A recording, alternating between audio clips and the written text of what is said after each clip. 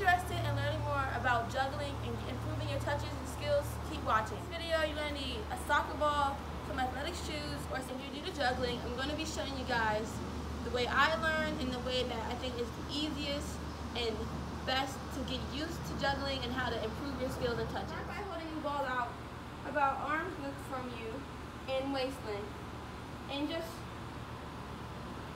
going, letting the ball drop. Now we're going to bring in our, our dominant foot, whatever your foot is the dominant one, and you're going to let the ball fall, but put some backspin on it and let it just hit your foot. Next, we're going to try to flick the ball back up while the ball is still on our foot. So, backspin and up. Now we're going to try to catch the ball.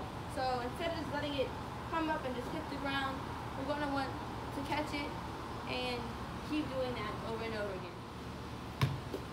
You want to make sure that you're doing it over and over again and getting as many touches in as you can.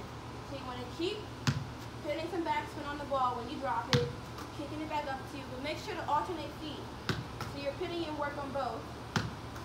Instead of doing one juggle catch, you're going to try to do two juggles and then catch it. So one, two, catch, and then make sure you're alternating feet so you get work on both feet. Instead of just juggling with your feet, you can start to incorporate different parts of your body, the inside of your feet, the thighs, whatever you want, so you can just improve your skills. Make sure you're being consistent and working anytime you have, just five minutes of your day, getting in a few touches, and I promise your touches will improve and your ball control.